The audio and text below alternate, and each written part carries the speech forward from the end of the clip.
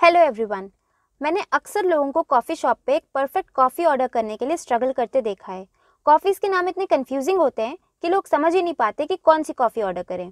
तो अगर आप भी उनमें से एक हैं तो ये वीडियो डेफिनेटली आपके लिए है। इस वीडियो में मैं आपको डिफरेंट टाइप ऑफ़ कॉफ़ीज़ को एक्सप्लेन करूँगी, ताकि नेक्स्ट टाइम जब आप कॉफ़ी शॉप पर जाएँ तो अपने लिए एक परफेक्ट कॉफ़ी ऑर्डर कर पाएँ। तो चलिए शुरू करते हैं आज की डिस्कशन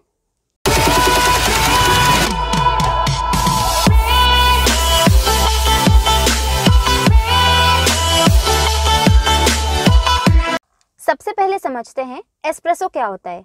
एस्प्रेसो एक कंसंट्रेटेड सॉल्यूशन होता है कॉफ़ी और वाटर का। Espresso shot normally 30 to 35 M का होता है। इसका नाम जितना अच्छा है कॉफ़ी उतनी ही जहर है। इसकी क्वांटिटी पर डिपेंड करता है, आपकी कॉफ़ी का टेस्ट कैसा होगा और वो कितनी स्ट्रांग होगी।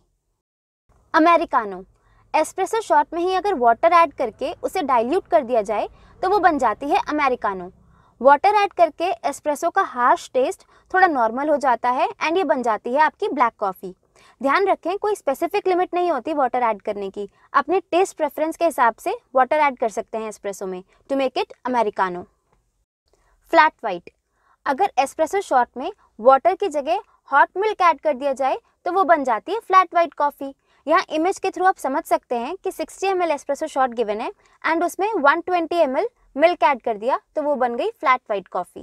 कैपेचिनो। अगर एस्प्रेसो शॉट में हॉट मिल्क के साथ थोड़ा मिल्क फोम ऐड कर दिया जाए तो वो बन जाती है cappuccino. Cappuccino already strong coffee होती है, बट अगर आप एक एक्स्ट्रा स्ट्रॉन्ग कॉफ़ी लवर हैं तो आप एक्स्ट्रा एस्प्रेसो शॉट ऐड करवा सकते हैं कैपेचिनो में। लाते। लाते भी मिल्क कॉफ़ी होती है कैपेचिनो की तरह, ये थोड़ी लाइट एंड क्रीमी कॉफ़ी होती है। लाते और कैपेचिनो में मिल्क एंड कॉफ़ी की क्वांटिटीज़ के रेशो का डिफरेंस होता है। सपोज़ दो कप्स हैं हंड्रेड हंड्रेड एम के। फ़र्स्ट में एस्प्रेसो शॉट है ट्वेंटी फाइव एम मिल्क है fifty M and milk foam है ट्वेंटी फाइव एम तो वो बन जाती है लाते और सेकेंड कप में espresso shot milk and milk foam की इक्वल क्वांटिटीज़ हैं। That is thirty three M each तो वो बन जाती है cappuccino mocha. Mocha is nothing but latte with some chocolate अगर लाते में ही थोड़ी चॉकलेट ऐड कर दी जाए तो वो बन जाती है मोका। तो ये थी गाइस बेसिक कॉफ़ीज़ जो हर कॉफ़ी शॉप में अवेलेबल होती हैं। इन्हीं कॉफ़ीज़ में आप डिफरेंट टॉपिंग्स भी ऐड करवा सकते हैं, जैसे कि कैरमल अगर आप कैरमल ऐड करवाएँ मोका में तो वो आपकी कैरमल मोका कॉफ़ी बन जाएगी। सिमिलरली अगर लाते में आइस ऐड कर दी जाए तो उसका नाम हो जाता है आइस लाते तो अगली बार आप कॉफ़ी शॉप में जाएँ और आपको मेन्यू में इस तरह की कॉफ़ीज़ दिखें तो आई होप आप अपने टेस्ट प्रेफरेंसेस के हिसाब से अपने लिए एक परफेक्ट कॉफ़ी ऑर्डर कर पाएँगे। So that's all for now अगर आपको वीडियो पसंद आई हो then please do like share and subscribe this is Aastha signing off thank you